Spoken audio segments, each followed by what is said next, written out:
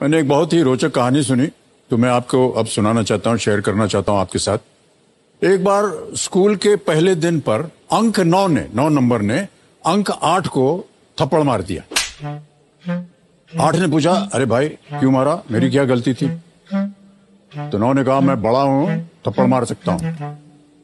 और अंक नौ की ये बात सुनते ही पूरी कक्षा में थप्पड़ों की जो बौछार थी वो शुरू हो गई। आठ ने सात को मारा, सात ने छह को मारा, छह ने पाँच को मारा। और ऐसा करते करते जब दो ने एक को थप्पड़ मारा तो शून्य जो था ना, वो बेचारा समझ गया कि पड़ेगी अब तो वो दुबक के कोने में बैठ गया। शून्य को ऐसा कोने में दुबक बैठा हुआ देख करके एक ने कहा, अरे भैया, तू क्यों डर मत? मैं तुझे नहीं मारने वाला हूँ।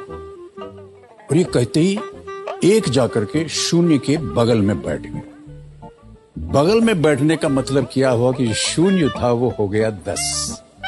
है ना? तब शून्य ने पूछा कि जहाँ सब अपने से छोटे को थप्पड़ मार रहे थे, आपने तो मुझे बड़ा बना दिया, ऐसा क्यों? तो एक ने कहा, देखो भैया, बड़ा वो नहीं होता जो खुद को बड़ा जाने या माने। बड़ा वो होता है जो किसी दूसरे को बड़ा बना दे। देखो समझो इंसान अपने मोल, अपनी ताकत या अपनी उम्र से बड़ा नहीं होता। इंसान बड़ा होता है अपनी सोच से। इंसान बड़ा होता है अपने ज्ञान से।